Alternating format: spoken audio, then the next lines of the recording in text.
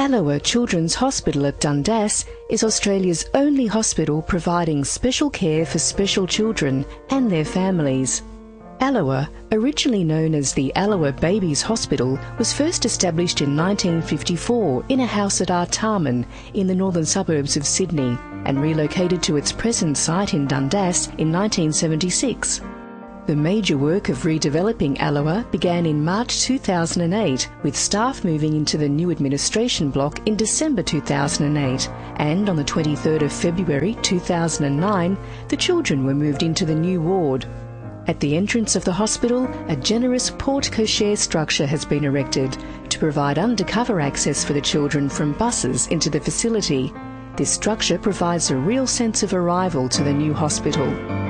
Allowah Presbyterian Children's Hospital at Dundas has transformed from a basic facility into a state of the art hospital for children with a homely, vibrant, and uplifting environment for all. The nursing station and rooms have been designed as a series of brightly colour coded rooms along an animated corridor with curved walls and an abundance of colour and natural light. Colour has been introduced wherever possible to provide an element of fun and vibrancy. Even the carpet has a patchwork arrangement of various colours.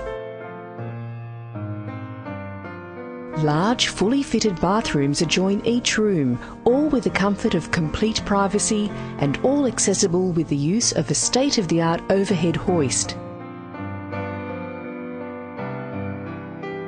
The overhead hoist has made a tremendous difference for both the staff and the children.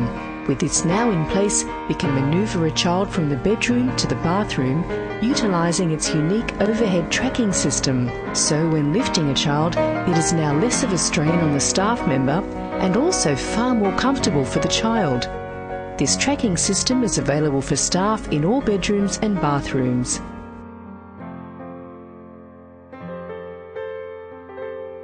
The rooms are very spacious and are completely fitted out with all the children's requirements, with views over the beautiful Dundas Valley. Each individual area can be cordoned off for privacy or left open for ease of both staff monitoring and family visits. Where possible, the building has been designed to incorporate environmentally sustainable design solutions to help reduce fuel consumption and running costs.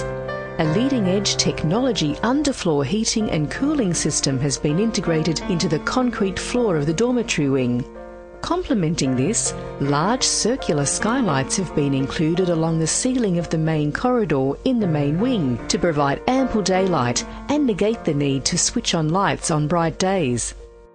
Allowah Children's Hospital, a special place for your special child.